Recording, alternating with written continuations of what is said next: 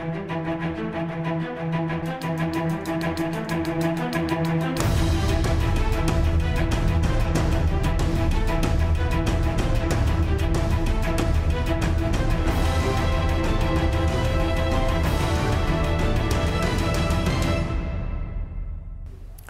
Вітаю з вами Шах і Мат. Мене звати Андрій Нікітін.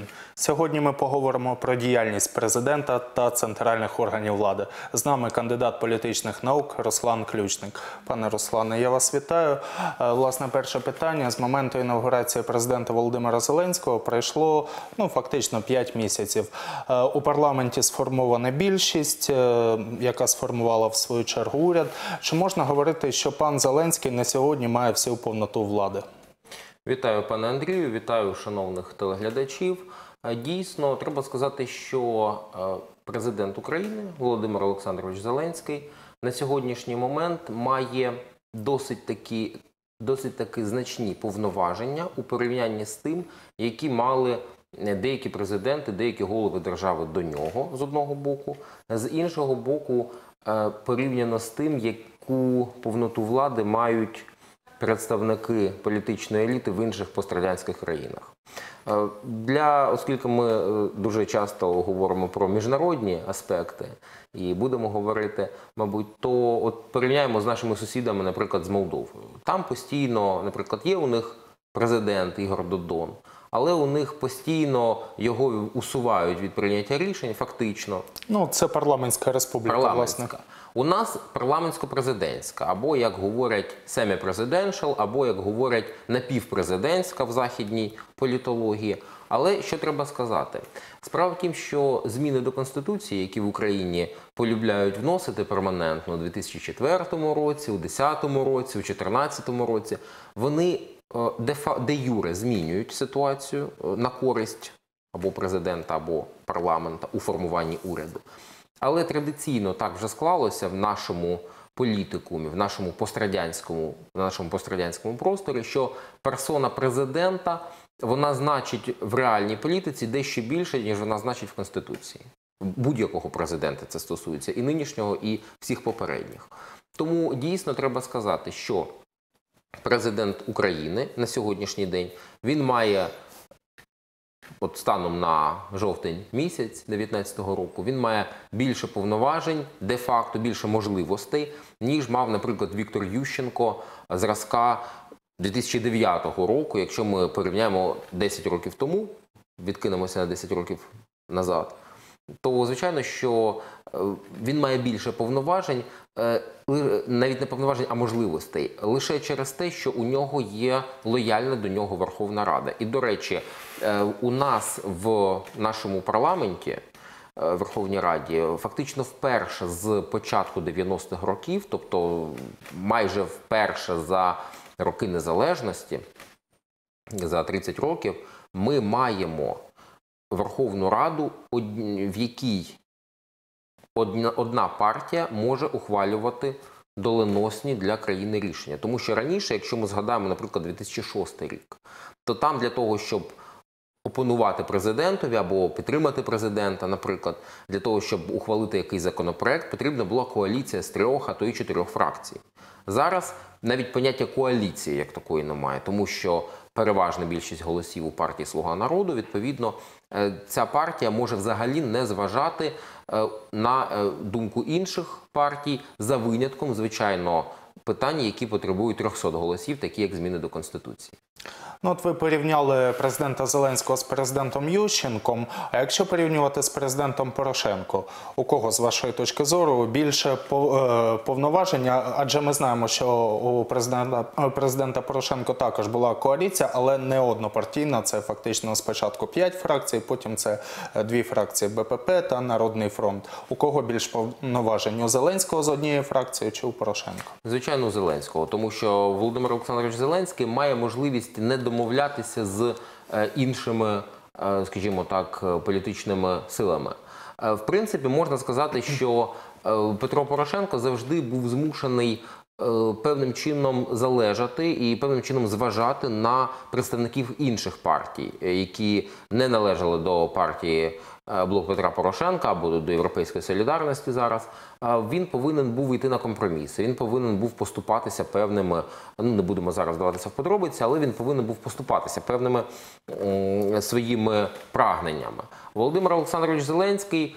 Е, Він має, е, хоча б на перший погляд, дуже монолітну підтримку, що дуже дивує, тому що е, якщо подивитися на походження соціальне та й політичне деяким чином походження представників фракції Слуга народу, як мажоритарників, так і списочників, то це люди дуже різні. Якщо навіть у попередніх скликаннях Верховної Ради люди постійно е, приходили по два, по три, по чотири, по п'ять скликань поспіль і від одних і тих же округів, то сьогодні 80% людей, які знаходяться в Верховній Раді, які приймають закони, за якими нам жити, 80% людей.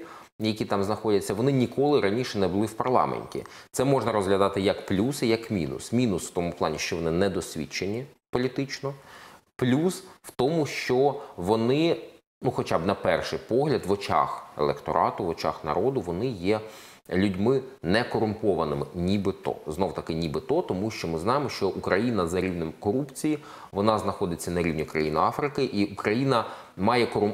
наше українське суспільство, воно є корумпованим апріорі. Тому говорити про відсутність корупції в законодавчому органі, ну на жаль, не доводиться. Ну, от ви згадали, що за нашою конституцією, яка нині діє у нас, е, парламентсько-президентська республіка. З вашої точки зору, на практиці ця модель діє? На практиці вона зараз е, могла би діяти, якби, наприклад, у вона би могла себе показати ця модель на практиці, якби в парламенті.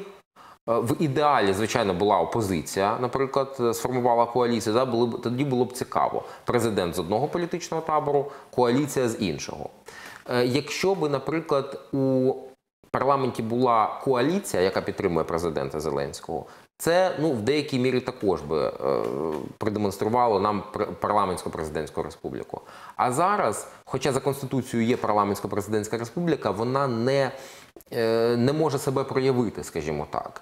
І виникає парадокс: з одного боку, у нас в парламенті люди демократично обрані, люди, які усунули на своїх округах людей, які по 20 років були в парламенті. Ми знаємо випадок Запоріжжя, який був так, коли людина, яка була 5 років, 5 по.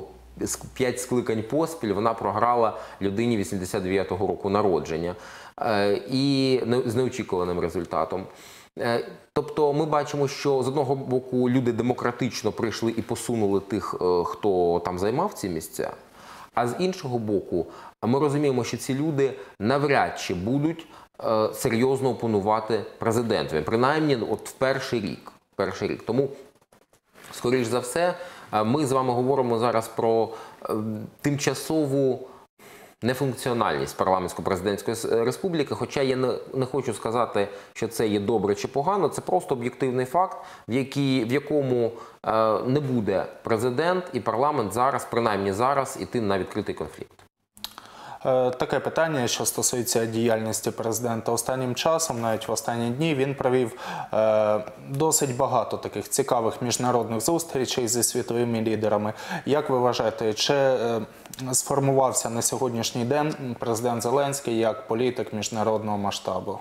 Безумовно сформувався, тому що дуже часто, коли президент, коли ще він був кандидатом у президенти, говорили люди з іншого табору, говорили, як він буде будувати відносини з міжнародними лідерами, коли він без політичного досвіду, коли він молодий. А ось там люди досвідчені, та ж сама Ангела Меркель, наприклад, яка з 2005 року знаходиться, перебуває на посаді е, бундесканцлерін федеральної канцлерки. Яким чином він з цими важковаговиками буде за одним столом переговорів? Перші п'ять місяців довели, що все-таки він здатен представляти державу, е, тому що за Конституцією України президент виступає від імені держави. Тому на міжнародній арені він її представляє так само, як це робили його е, п'ять попередників. Сьогодні, от ви згадали про останні події. Е, Останніми днями, от щойно ми бачили навіть в Фейсбуці, в інстаграмі президента і першої леді, що відбулася дуже серйозна і доленосна, е, будемо сподіватися, зустріч з е, японськими е, лідерами, тому що в Японії відбулася знакова подія. Це інтронізація імператора Нарохіто, який з квітня, точніше з 1 травня, е, є єдиним правлячим імператором, тому що японський імператор це єдиний в світі правлячий імператор. І е, коли він отримав цю посаду, цю власне трон. То от офіційно Успадкував. успадкував так. Ну не успадкував, можливо, тому що ще батько живий Акіхіто, але от Так, ну, так. у- Ну, передав, батько йому передав фактично. Передав так, передав вже за станом здоров'я. І е, Нарохіто, е, досить таки молодий за, японськ, за японськими мірками голова держави. Він запросив світових лідерів, і що дуже важливо, е, президент Зеленський туди поїхав. І е, важливо, щоб відбулася зустріч. Е, Не лише церемоніальна, а от е, вже йдуть повідомлення, що можливо в майбутньому е, з Японією буде лібералізований або навіть скасований візовий режим. А ми розуміємо, що японський паспорт, наприклад, для, для порівняння, щоб наші співгромадяни усвідомили, що Японія це одна з найбільш шанованих країн світу, тому що японський паспорт є одним з перших, там першу, другу він позицію займає по е, престижу, тому що з японським паспортом можна без віз е, за одними даними 180 країн відвідувати, за іншими даними 190 країн. Тобто, якщо така країна, яку всюди раді, раді бачити, якщо така країна здатна е, власне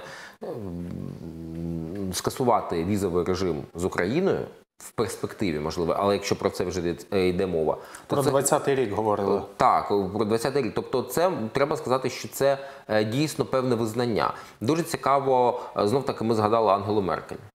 Ангела Меркель е, провела також зустріч з Володимиром Зеленським. Це було ще в перші тижні його е, власне роботи в якості голови глави держави. Також Жан-Клод Юнкер зустрічався. Хоча, хоча я вам скажу, що перший етап е, Ангела Меркель, як казали аналітики, досить критично ставилась до нового президента. Е, Так, е, дуже багато ставилося критично, тому що будь-яка політика це річ дуже консервативна, і в політиці до будь-якого нового обличчя ставляться з певною пересторогою. Я це дуже добре розумію, тому що ми, е, як кажуть, старий друг да лучше нових двох. Тому, якщо ми говоримо про, наприклад, того ж самого Трампа, з яким також Зеленський вже мав контакт, Трамп, коли прийшов в Білий Дім. Всі думали, що ж, що ж станеться тепер. Це ж, е, це ж власне повний переворот, буде повний е, колапс всього, що будувалося раніше. Виявилося, що він діє в принципі в основному в дусі своїх попередників, республіканців. Так само і е, на- навіть той факт, навіть той факт, що через українські події у Трампа виникли певні у Трампа у Джуліані виникли певні проблеми. Це свідчить про те, що Україна, можливо, не завжди в позитивному ключі, але впливає і впливатиме на світові події. Ну крім того, той вектор, який не дуже хочеться згадувати, але який не можна виконати, е, викинути, тому що ми є політологами-міжнародниками, е, є власне об'єктивними науковцями. Е, Зеленський добився того, щоб українські військовослужбовці, моряки були визволені з того місця, де вони перебували. Відповідно, було проведено звичайно переговори з сусідньою країною, але знов таки політика це мистецтво можливого. Якщо повернули наших громадян, яких утримували в іншій країні, це звичайно можна вважати політичним успіхом. Е, Ви згадали про візит до Японії, який буквально на днях відбувся. Е, Зокрема, там відбулася зустріч з президентом Німеччини паном Штайнмаєром. Е, Чи слідкували ви за нею і що вона може означати для України саме ця зустріч? Звичайно, в зустрічі з Франком Вальтером Штайнмаєром його прізвище досить складне. Зараз всі українці вже запам'ятали.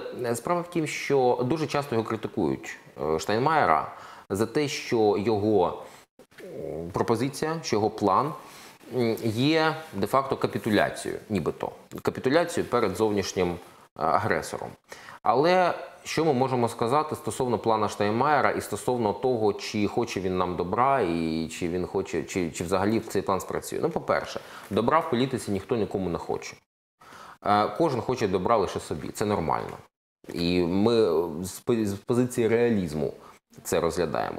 Друге, е, план Штайнмаєра багато в чому, практично в усьому, дублює ті мінські домовленості, е, які, про які у нас політичний дискурс точився ще з вересня 2014 року. Тобто Це перший мінськ. це перший мінськ. Ну і другий мінськ був у лютому 2015 року. Тобто мінський процес, який почався більше п'яти років тому, він точився так чи інакше навколо, навколо цих е, позицій і навколо цих домовленостей.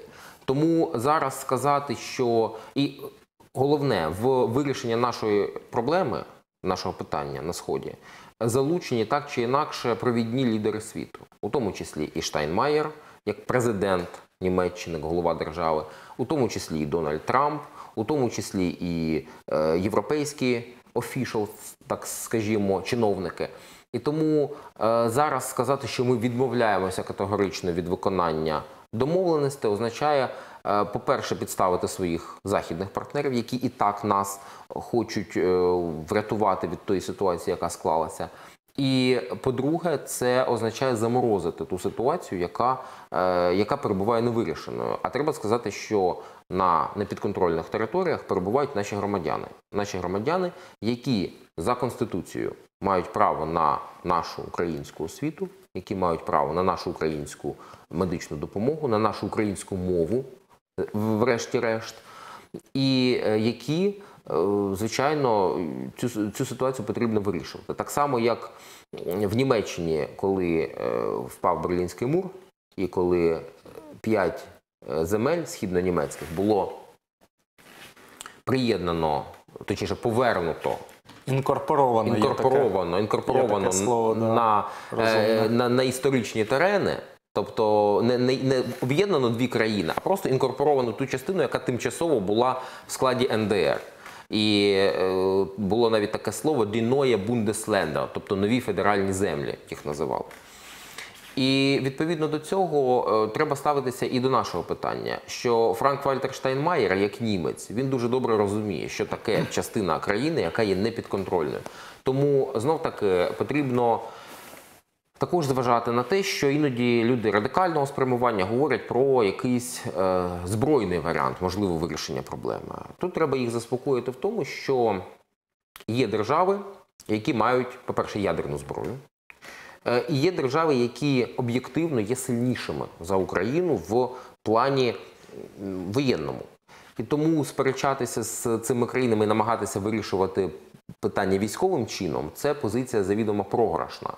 Е, Наприклад, якщо ми з вами візьмемо країну таку, як Фінляндія, наприклад, то у 39-му році вона зазнала атаки з боку Радянського Союзу. І хоча вона незалежність не втратила, але вона була, на жаль, вимушена 11% території своєї віддати. Але е, ми з вами зараз говоримо про те, що наша задача і план, і план Штайнмаєра гарантує нам це в майбутньому. Е, Ми повинні реінтегрувати мирно ті території, які, які у нас тимчасово не підконтрольні. І чим скоріше ми їх реінтегруємо, тим краще буде для всіх нас, у тому числі для тих наших співгромадян, які, на жаль, зараз позбавлені тих громадянських прав, які вони, на які вони заслуговують. Е, Пропоную поговорити про парламентські справи. Ми згадували з вами монобільшість. Е, Це фракція Слуга народу. Е, Наскільки, з вашої точки зору, вона є монолітною на сьогодні? Е, Тут е, подвійний вимір. Е, В плані голосування, коли вони голосують за, тиснуть кнопочки Адабрямс. «Одеб- одебрямс. Е, В цьому плані вони є безумовно монолітними. Партія сказала «надо», комсомол відповів «єсть». І це певним чином нагадує радянський парламент, Верховний Совет СССР, коли люди там перебуваючи, вони голосували просто тому, що це було потрібно, тому що так робили всі, тобто старі партійні оці.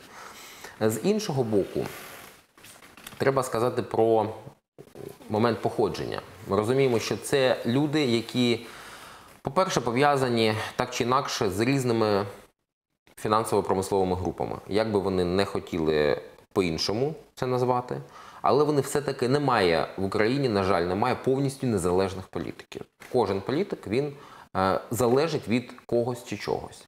Тому, відповідно, ці люди також відчувають вплив певних людей, завдяки яким вони в парламенті опинилися. І це природнім чином для пострадянської країни це нормально. І ці люди вони рано чи пізно е, проявлять себе як ставленики тих чи інших кіл. І відповідно монолітність ця вже почне давати тріщину. По-друге, треба сказати, що е, монолітність е, є примарною, тому що е, дехто з політичних гравців, нових, які з'явилися в партії Слуга народу, які з'явилися зараз в парламенті, вони туди йшли е, з метою потім створити власні політичні проекти. І можливо, е, через певні невідповідності у політичному світогляді, вони так чи інакше ці проекти створять і почнуть відривати не лише депутатів з фракції Слуга народу, але почнуть відривати шматочки рейтингу від Слуги народу і від Володимира Зеленського, зокрема. Е, Якщо порівнювати нинішній парламент, і чи можна порівнювати на сьогоднішній день, і парламент восьмого скликання, з вашої точки зору, який є найбільш не найбільш, а більш ефективним?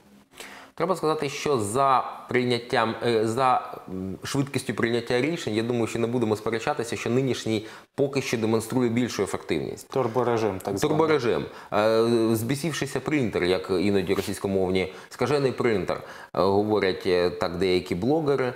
Але за цією кількістю іноді видно недопрацьовану якість, тому що ми бачимо з одного боку, вони дуже швидко приймають закони, і президент їх підписує. Але з іншого боку, якщо прочитати тексти цих законів, то вони зачіпають інтереси дуже серйозних груп населення. Е, Наприклад, е, сумнозвісні закони, е, які вони мають вступити в силу з 2020 року, але вони вже прийняті, підписані паном Зеленським, про касові апарати. Ми пам'ятаємо з вами, які були протести, і вони, власне, і тривають також. Через те, що і дорого це, і незручно це, і не всім це, зрештою, можливо, і потрібно. Ну і будемо говорити відверто, у нас тіньова економіка, вона за обсягом більша, ніж не тіньова, тому дуже часто не хочуть підприємці, сві- підприємці світити всі свої доходи. Відповідно, люди вийшли на протести. А що хто вийшов на протести? Це малий бізнес. А малий бізнес це основа будь-якої цивілізованої демократичної держави. І ми пам'ятаємо з вами е, 13 рік, 2013 рік, коли малий бізнес став одним Трохи раніше е, податковий майдан, це здається 11-й навіть рік був. податковий майдан 11 рік. А от якщо брати Євромайдан 13 рік, коли була вже революція гідності, то значну допомогу протестувальникам і значну частину протестувальників складали представники малого бізнесу, тобто люди, які працюють самі на себе, тому що вони за кілька років правління Януковича і за кілька років цієї політики податкової політики Азарова, кабінету Азарова, в тому числі, вони е, відчували певну таку відносну депривацію. Ми заробляємо, але ми не маємо того, на що ми заслуговуємо. І відповідно сьогодні, на жаль, е, не зав- не завжди за цим турборежимом влада бачить недоліки у самих текстах законопроєктів. Можливо, треба було би більше лібералізувати, е, і можливо потрібно було би ну, хоча б якісь організувати перемовини. Ми розуміємо, що потрібно приймати закони, але потрібно можливо більш е, це робити зважено і не так швидко, і не так нехтуючи е, інтересами певних груп населення. Е, Наскільки парламентська опозиція впливає на прийняття кінцевих рішень у вигляді законів? Е, В принципі, сьогодні говорити про опозицію дуже складно, тому що, по-перше, вона малочисельна. Тобто, навіть якщо вся опозиція проти, закон все одно буде прийнятий. Сьогодні говорити про роль опозиції дуже складно. Е, Вона мало впливає. Будемо відверті, вона мало впливає. Знов таки, якщо брати ситуацію на кінець жовтня 2019 року. Е, З іншого боку, опозиція працює зараз в довготерміновій перспективі. Е, Вона е, намагається дискредитувати нинішню правлячу команду. Е, По-перше, з прицілом на місцеві вибори, тому що ми бачимо, що не завжди представники нової так званої Зе-команди, що вони є фахівцями, професіоналами, і дуже часто вони працюють не в інтересах, наприклад, місцевих громад. Ми бачимо з вами деякі призначення в областях, не будемо конкретизувати, але в принципі, якщо погуглите, ми бачимо, що про деяких очільників обласних державних адміністрацій практично нічого не відомо в відповідних областях. Це, звичайно, грає не на користь е, діючого президента і його команди. Відповідно, опозиція зараз, е, оскільки вона не має можливості ефективно впливати на законотворчий процес, вона е, виходить в політичний дискурс, вона намагається дискредитувати президента і політичну еліту з метою послабити їх позиції і на місцевих виборах взяти який ніякий, але реванш. Е, Те, що наша опозиція не є консолідованою, скажімо, є опозиційна платформа за життя, є європейська солідарність. Е, Батьківщина, ну не можна її в повній мірі називати опозицією. Е, Те, що вона не консолідована, це є погано чи це нормальна ситуація? Е, Це ситуація цілком нормальна, тому що ми пам'ятаємо, коли прийшов до влади Віктор Федорович Янукович у 2010 році, він не швидкоруч сколотив собі коаліцію. Потім він повернув собі повноваження, які були у президента до 2004 року до конституційної реформи, і власне вирішив зробити таку собі ну, такий собі неорадянський, е, на московський чи на мінський формат такий політикум. Але коли Янукович став президентом у 2010 році, то опозиція була дуже фрагментована. Окремо був Ющенко, окремо була Тимошенко, окремо були націоналісти, окремо були е, ще деякі е, більш маленькі групи. Але потім вони на очах, фактично, на е, от, завдяки податковому майдану, завдяки іншим моментам, е, вони на очах вже почали об'єднуватися, і до кінця 2013 року ми бачили е, вже декількох лідерів об'єднаної опозиції. Навіть в 2012 році ми бачили таку е, політичну силу, яка називалася Об'єднана опозиція. Ну, все-таки складно уявити, що опозиційна платформа, скажімо, європейська солідарність об'єднаються. Сьогодні вони не об'єднаються, і, скоріш за все, вони взагалі не об'єднаються. Але потрібно сказати, що е, скоріш за все треба говорити про е, певний можливий в майбутньому розпад самої цієї владної коаліції. І звичайно, те, що е, не консолідована зараз опозиція, це е, грає на руку президенту Зеленському. Але треба е, завжди сказати, що єдиним президентом України, який зміг обратися повторно вдруге, це був Леонід Данилович Кучма. І це урок для будь-якого наступного президента, що у нас президент може досить легко виграти, але потім досить легко розгубити свій рейтинг. Візьмемо для прикладу Віктора Ющенка. Тому сподіваємося, що нинішня політична еліта е, винесе певний урок. е, З того з тих урок з тих е, моментів, які були за 29 років історії України, і що навіть фрагментованість або примарна фрагментованість української опозиції їх не буде тішити, а просто вони будуть виконувати ті обов'язки, які на них покладені. Що ж, я вам дякую за цю розмову. Нагадаю, сьогодні ми спілкувалися з кандидатом політичних наук Русланом Ключником. На все добре.